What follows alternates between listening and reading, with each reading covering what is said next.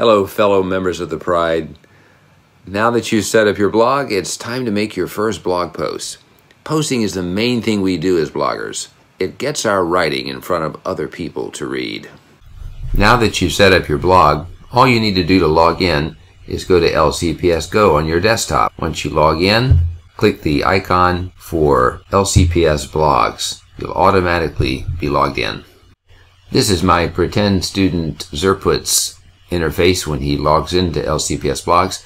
The quickest way for him or for you to write a new blog post is to mouse over my sites, then mouse over your name, and then go down to the second submenu, new post. When you're there, you'll see two essential fields. One is the title, and the second is the body. Your teacher will give you instructions for what you should do for your particular post. In this case, I've done a profile, and in my pretend profile, I have my student's name, and beneath that, I have the text.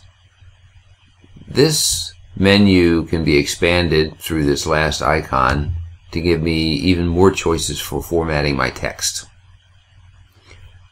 Also, I want to give it a category so if I don't see the one I want, I can click Add New Category. Your teacher will tell you what category to put in there. In this case, Zerput's teacher told the class to make a profile category. That way everybody can find the profiles easily. Click Add New Category, and then it's checked as the one that's going to be attributed to this particular blog post. When you're done, click submit and it's there. You can preview it by clicking preview post and you can see what it's going to look like. If your teacher looks at the post first, it may be sometime before it becomes live, but you can see ahead of time how it's going to look. This is how it looks on Zerput's site. Well, that's it. You've posted your first blog post.